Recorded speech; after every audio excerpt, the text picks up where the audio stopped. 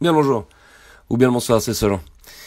En cette période estivale, j'avais envie de vous faire un petit point sur euh, bah, cette expérience que je suis en train de mener en devenant irrésident de l'Estonie. L'Estonie qui est ce pays qui a depuis 2007, 2006 même dans ces eaux-là, ça fait plus de dix ans qu'ils travaillent à la numérisation globale de toute l'infrastructure de leur euh, administration. Et depuis euh, un certain temps, ils permettent à des non nationaux, donc des gens qui n'ont pas la nationalité estonienne, de devenir résidents numériques estoniens et donc d'acquérir une carte d'identité numérique euh, qui euh, bah, qui leur permet d'avoir accès à tout un certain nombre de services. Euh, Jean-Christophe Capelli, euh, Jean-Michel Billot ont été deux des francophones parmi ceux que je connais qui ont été voilà qui ont fait cette expérience-là. Je pense que Jean-Christophe a d'ailleurs créé sa propre société, sa propre boîte là-bas, en Estonie. Euh, je vous renvoierai vers, vers eux et les liens qu'ils ont fait avec des, des, présentations, des PowerPoint et des, euh, des podcasts aussi en vidéo en expliquant le pourquoi du comment de cette démarche-là. Euh, moi, j'ai entamé la démarche pour euh, recevoir cette carte d'identité électronique. Ça coûte 100 euros pour, euh, pour faire la démarche en expliquant pourquoi vous voulez devenir euh, résident, e-résident estonien. En gros, moi, j'ai dit que je voulais créer mon business là-bas.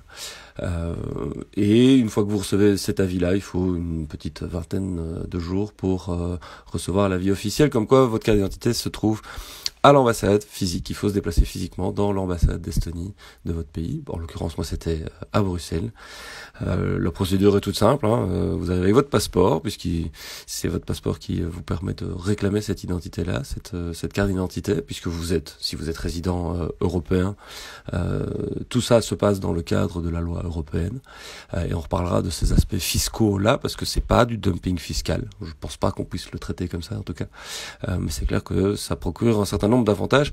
Euh, pour tous les digital nomades, pour tous ces gens qui ont un travail aujourd'hui qui est 100% euh, dématérialisé, où vous pouvez vous trouver à n'importe quel bout du monde, à partir du moment où vous avez une connexion, vous pouvez travailler, euh, sauf que votre banque, votre administration, tout ça est encore géolocalisé dans votre pays d'origine avec toutes les emmerdes et toutes les tous les retards que peuvent avoir vos pays respectifs euh, en matière de numérisation et en matière de euh, d'accompagnement de ces utilisateurs, qui soient d'ailleurs simples citoyens ou euh, entrepreneurs. On aura l'occasion d'y revenir. juste encore un mot sur la procédure. Vous arrivez sur à l'ambassade d'Estonie, vous vous présentez, vous rentrez dans une pièce qui est close avec un agent euh, diplomatique qui vous reçoit derrière une euh, vitre euh, anti-balle, j'imagine, qui prend vos empreintes de vos deux index et puis qui vous remet votre carte d'identité électronique ainsi qu'un lecteur de carte d'identité électronique qui fonctionne en USB. C'est vraiment tout tout simple. Euh, et puis vous, bah, vous pouvez, euh, vous pouvez y aller. Moi, ça m'a pris euh, cinq minutes, montre en main, de récupérer ma carte d'identité, de rentrer chez moi et de l'activer, ce qui va me permettre de pouvoir signer électroniquement toute une série de, de documents. C'est fourni avec des certificats de sécurité que vous installez dans votre machine. Euh, c'est, faut vraiment pas avoir fait maths sup. C'est quelque chose qui est qui est proposé à tous les Estoniens aujourd'hui. Tous les Estoniens ont cette carte d'identité qui leur permet, entre autres, de voter, entre autres, d'avoir accès à tout leur système de sécurité, euh, tout leur système de soins de santé, etc., etc. Enfin, c'est je pense que si on veut vraiment une vision de l'avenir des services euh, fournis par un État, euh, L'Estonie est vraiment, vraiment, vraiment un, exemple à regarder. Et on a déjà eu pas mal de conversations sur différents postes, mais je comprends tous ceux qui disent oui, mais c'est quand même liberticide, potentiellement liberticide. Euh, ça fout les boules de savoir qu'un État va pouvoir avoir tout, tout, tout sur vous de cette manière-là, de manière centralisée. Justement, je pense que c'est l'inverse.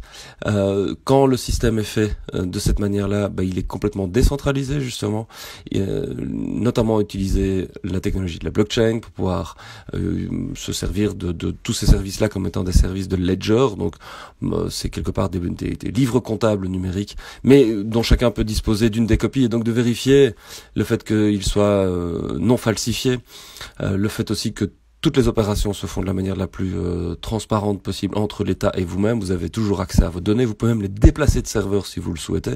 Vous restez propriétaire de vos data. Euh, mais une fois que vous faites une modification, par exemple, vous changez votre photo euh, d'identité sur un document, ça se fait instantanément sur tous les autres services de l'État.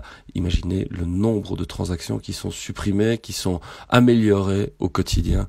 allez, faire allez faire un tour un jour à la commune chez vous pour demander des documents ou dans votre mairie et vous savez exactement de quoi je veux parler.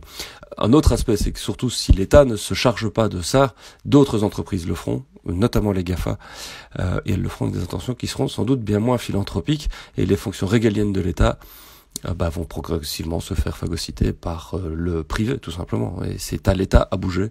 Et moi, c'est en ça que cette expérience m'intéresse, c'est de documenter ce processus-là, de voir qu'est-ce que ça peut changer, moi, en tant que citoyen, euh, et de partager ce processus-là avec vous, de le documenter, de l'expliquer comme je suis en train de le faire.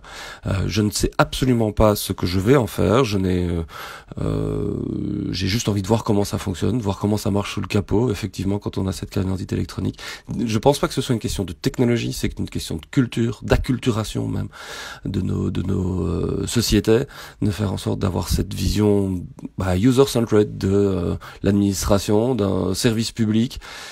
comment un État moderne se met au service de ses citoyens en donnant les outils les plus faciles, les plus sûrs à pouvoir utiliser de manière transparente.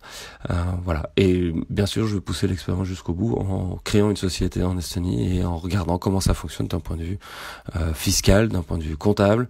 Euh, mais ça fera l'occasion de billets ultérieurs. Voilà. Si vous avez des questions, bah n'hésitez pas. Moi, il y a plein plein de questions qui se posent, plein de réflexions autour de tout ça mais je pense que c'est un sujet dont il faut s'emparer au XXIe siècle, à l'heure d'aujourd'hui, en 2017, alors qu'en Belgique, on est en train de se poser plein de questions sur la gouvernance, on est en train de se poser plein de questions sur quel type de dirigeant, quel type de politique, quel type d'administration est-ce qu'on a envie d'avoir dans une version moderne d'un État moderne. Voilà.